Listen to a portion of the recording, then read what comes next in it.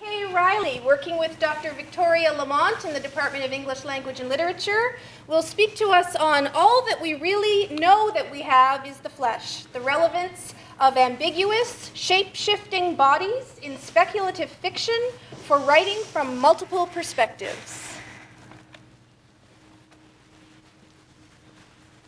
Octavia Butler once said, all that we really know that we have is the flesh. What she meant is that we are often perceived through our bodies. Our race, sex, disability, and so on can influence the course of our lives. I want you all to take a moment to think about your own race and sex. How do you identify? Now, imagine that your race or your sex suddenly changed.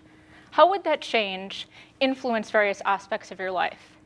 Your friends or your career, for instance. The goal of new rhetoric in critical race pedagogy is to show writing students that their writing is influenced by their race, sex, etc.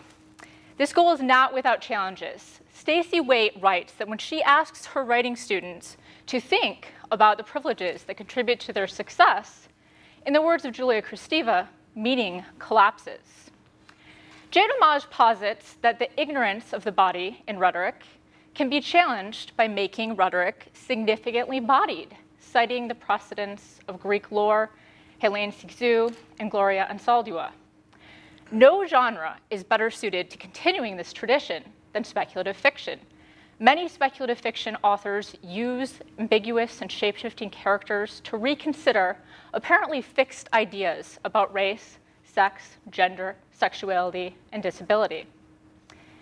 In Wild Seed, Butler writes about Anyanwu, an African shapeshifter who can change her race and her sex anytime she wants. She lives as a white male plantation owner in Louisiana for 30 years. When a slave asks her, does that white skin cover your eyes too? Anyanwu realizes, I had stopped seeing the slaves in front of me. I had been white for too long. What would happen if writing students could make the connection between the range and fluidity of speculative fiction characters, their bodies, and their own bodies and identities?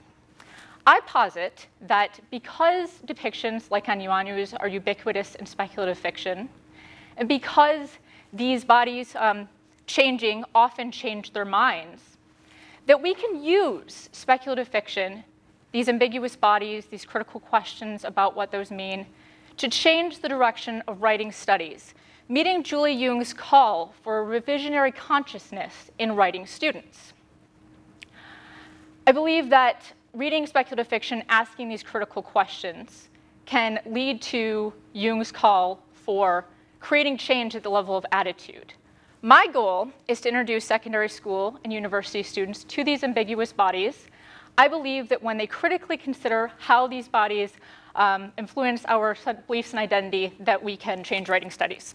Thank you.